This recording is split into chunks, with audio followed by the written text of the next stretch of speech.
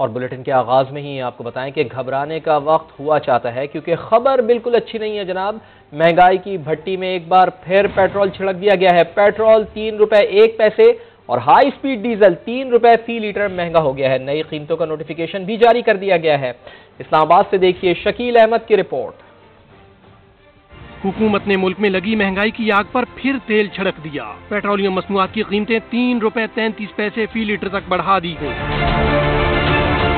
वजारत खजाना के नोटिफिकेशन के मुताबिक पेट्रोल तीन रुपए, एक पैसा महँगा कर दिया गया। अब एक सौ सैंतालीस रुपए तिरासी पैसे फ़ी लीटर मिलेगा। हाई स्पीड डीजल की कीमत तीन रुपए बढ़कर एक सौ चवालीस रुपए बासठ पैसे फ़ी लीटर हो गई। मिट्टी के तेल के निर्ख भी तीन रुपए इजाफे के साथ एक सौ सोलह रुपए अड़तालीस पैसे मुकर लाइट डीजल तीन रुपए तैंतीस पैसे इजाफे से एक सौ चौदह रुपए चौवन पैसे फ़ी लीटर हो गया।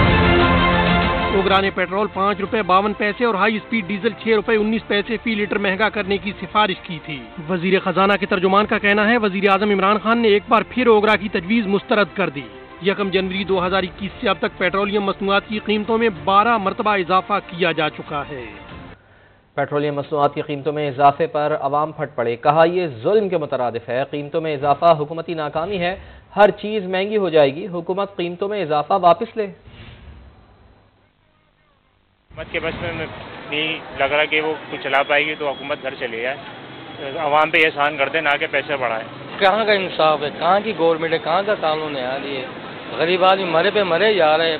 तीस परसेंट महँगाई बढ़ती है तो दस परसेंट सैलरी बढ़ती है। अभी वो भी नहीं बढ़ी है कोरोना की वजह से। गरीब आदमी जो है वो इतना जो है तंग पड़ गया ना इस दुनिया में। बस मर, मरना ही बाकी रह गया बकाया तो सारा हो गया है। खान को वोट देना तो दे दिया पाँच साल पूरे होने दो उसके बाद ये फारग है। चाहते क्या है? उन्होंने तो कहा घबराना नहीं घबराना नहीं है। उन्होंने तो हमें घबरा घबरा के तो लोगों के बीपी शूट कर दिए लोगों को मार दिया जो सच्ची बात है। इनकी गलत पॉलिसियों की वजह से पेट्रोल बढ़ता जा रहा है।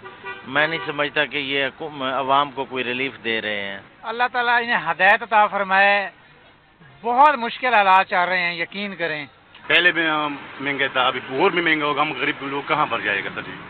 लाहौर के इलाके नसीराबाद में शादी की तकरीब में बारातियों की हवाई फायरिंग से दुल्हन के दो मामू जाँ बहक हो गए। समग्र नुमाइंदे मोहम्मद कुरबान से मजीद जान लेते हैं। कुरबान अफसोसनाक वाक़ है कैसे पेश आया बताइए हमें।